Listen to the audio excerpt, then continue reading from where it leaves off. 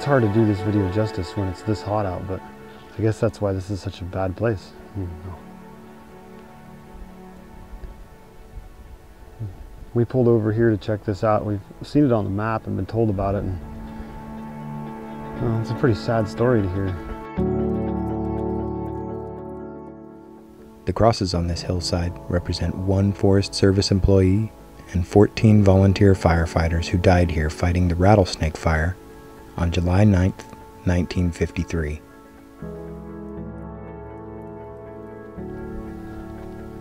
See, hopefully you can see the crosses up there on the hill.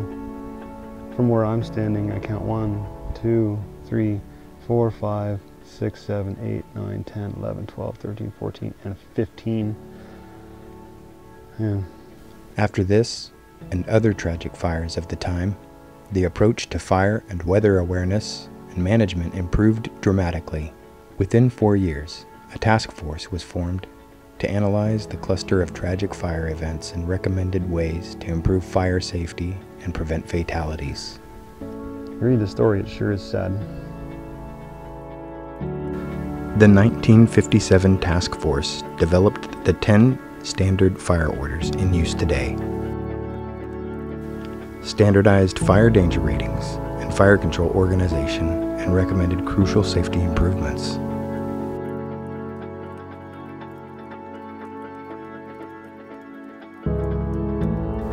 This rugged old bell was located at the New Tribes Mission in Fouts Springs from 1944 through the mid 1950s. It was used to round up missionaries for fire calls and various other activities. In 1953, on a hot July day, the bell sounded for the rattlesnake fire. We do not know the bell's origin or age, however, we do know that it was removed from the deserted mission to a Stonyford area ranch. In 2003, the bell was donated to the Rattlesnake Fire Project. The Forest Service restored the badly damaged bell and dedicated it to the missionary firefighters who died while fighting the rattlesnake fire. The rattlesnake incident was a textbook example of extreme wildfire and dangerous changing weather conditions. It was detailed in John Maclean's 2018 book, River of Fire described on the sign minute by minute, and is still taught to students in fire professions today.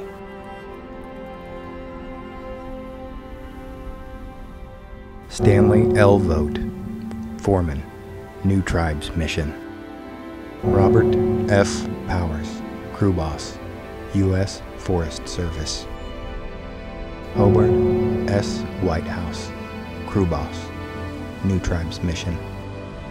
Benjamin O. Deno, crew member, New Tribes Mission.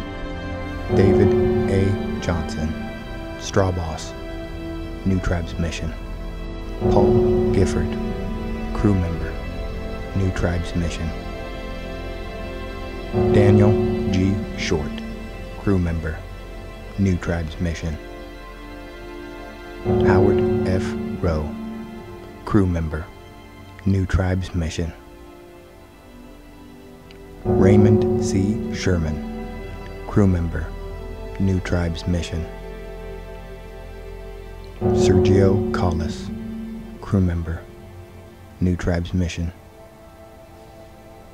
Harold J. Griffiths, straw boss, New Tribes Mission. Alan J. Body, crew member, New Tribes Mission. Daryl K. Noah, crew member, New Tribes Mission.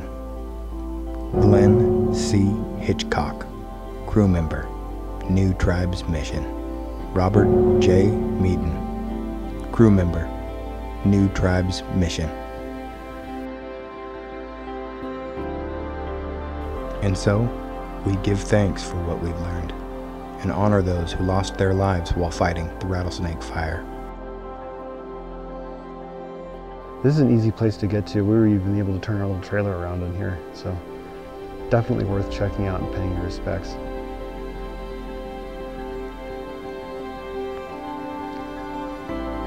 See you in the next video.